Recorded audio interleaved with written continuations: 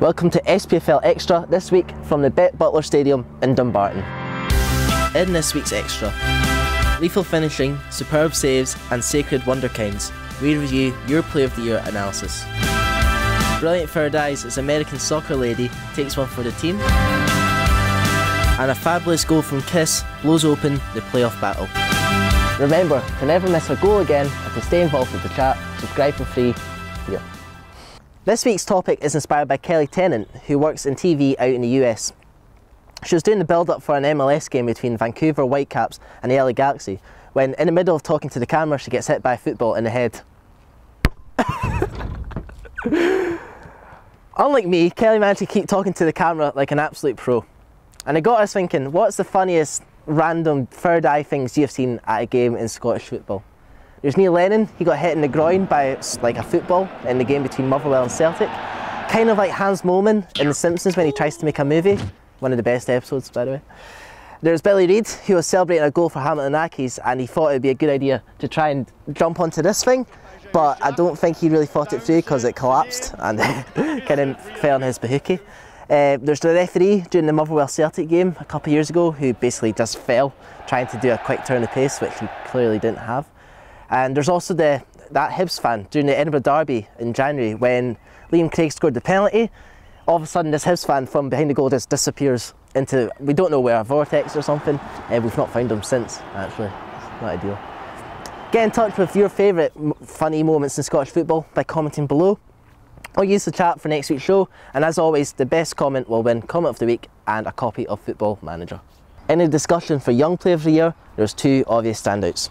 For Connor Woodward, has to be Andrew Robertson at Dundee United. Now this time a year ago, Robertson was playing in the fourth tier of Scottish football for Queen's Park. Fast track the year, he's in the Scottish Cup final, he's a regular for Dundee United, and not only that, he's already gained his first Scotland cap.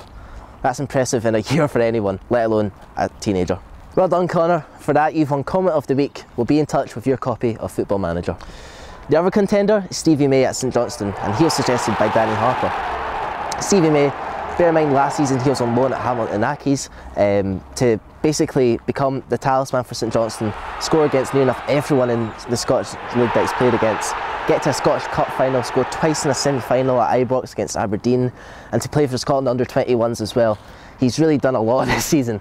So between him and Robertson, they're both very, very good contenders. Meanwhile, in the Championship, Mark Burns thinks that Kane Hemmings' contribution to Cowdenbeath has gone unnoticed, and that's not fair.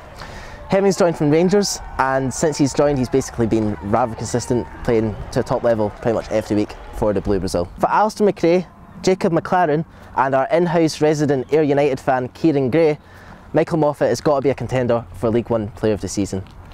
Obviously, a lot of the praise will go towards Rangers players this season because of their massive points tally and the fact they've only dropped points in two games. But the goals that Moffat has scored have been fundamental to what could be a playoff position for the honest men. In League 2, Man AFC Whoop thinks there's only one contender for Player of the Season. Rory McAllister scored 30 goals for Peterhead in their march towards the League 2 Championship. Not only that, he's also the top scorer in all of Scottish League football, which is a remarkable achievement. Now it's time for my favourite goals from the weekend's Premiership action. And number 5 is Lionel Ainsworth's consolation from Motherwell away at Dundee United. He scored a pretty good goal in August against Dundee United at Tannadice in a 2-2 draw in which he scored from about 30 yards out.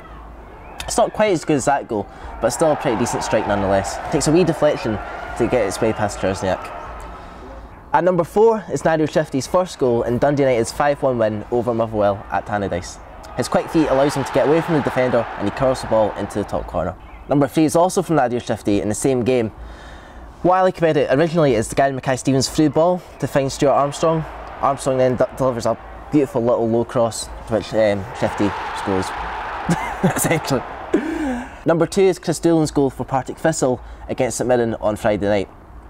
It's not so much the header which I enjoy, but it's all about Callum with a K's Higginbotham's cross. Um, next side of the boot, it's, a, it's an absolute joy, and Doolan scores a pretty decent header to finish it off. Number one for me is Filip Kiss's goal for Ross County against Kilmarnock. The fact that he takes his first time strike on the inside of his foot, curls into the bottom corner, It's pretty impressive, and for me that's why it's my favourite goal of the week.